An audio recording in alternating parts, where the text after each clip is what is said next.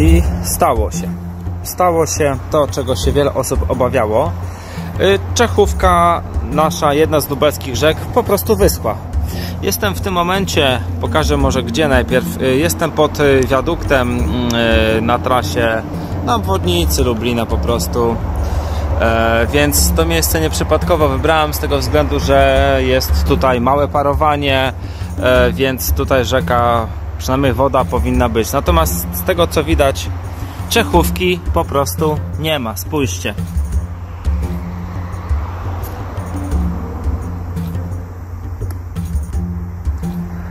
Sytuacja hydrologiczna e, na Lubelszczyźnie jest szczególnie fatalna z tego względu, że jesteśmy e, regionem wyżynnym.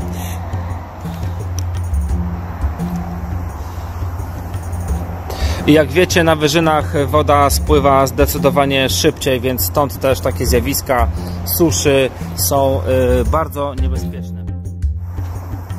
Oczywiście na odcinku miejskim rzeka Czechówka y, ma zasilanie jeszcze bodajże ciek- cieku spod Konopnicy, więc tam troszeczkę w Czechówce wody jest więcej. Natomiast tutaj w tym górnym biegu, tak to można nazwać, wody jest nie wiem ile, 1%.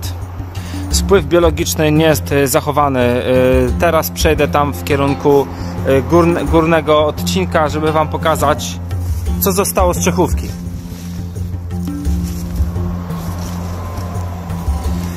Czy można panikować? Trzeba, dlatego że e, Lubelszczyzna ma bardzo ubogą sieć e, rzeczną. E, wiecie o tym, że teren Wyżyny Lubelskiej został osuszony, części Wyżyny Lubelskiej osuszony przez kanał Wieprz-Krzna e, i praktycznie wszystkie rzeki, które mamy, one no niestety szybko odprowadzają wodę, stąd też takie zjawisko. Powiem Wam szczerze, że jestem trochę no dobra, jestem w szoku. Ja wiem, że Czechówka to jest, o, jakaś mała żabka próbuje się dostać do wody. Eee, w tym momencie tutaj w tej rzece nie ma nic. Nie ma ryb, nie ma życia, nie ma wody. To jest rzeka Czechówka. Wód, kamienie, wilgotny piach, już nawet nie mokry. Ta woda już w ogóle tej wody nie ma. Zobaczcie, nie ma nic. Jest bardzo źle jeżeli tak wygląda rzeka, która normalnie dopływała do Lublina, ona w tym momencie, ja w tym momencie zaraz wejdę na dno,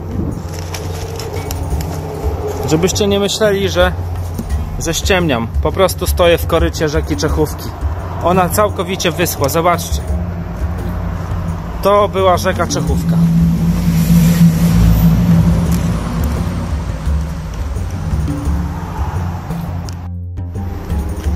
Czy można coś zrobić?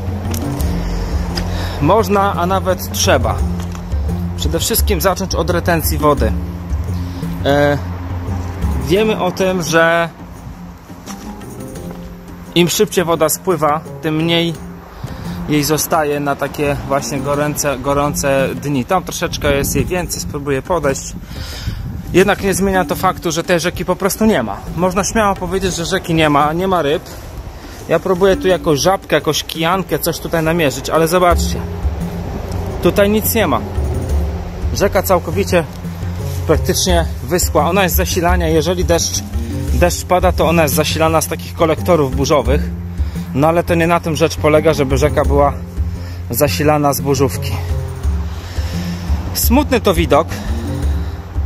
Myślę, że nie tylko dla mnie, zwłaszcza, że Czechówka to jest piękna rzeka, która w historii miasta mocno się wryła, chociażby nazwą dzielnicy Czechów. I smutne jest to, że w czasach, w których żyję, takie rzeczy się już dzieją. Martwi mnie to, niepokoi, że nic się z tym nie robi, będzie coraz gorzej.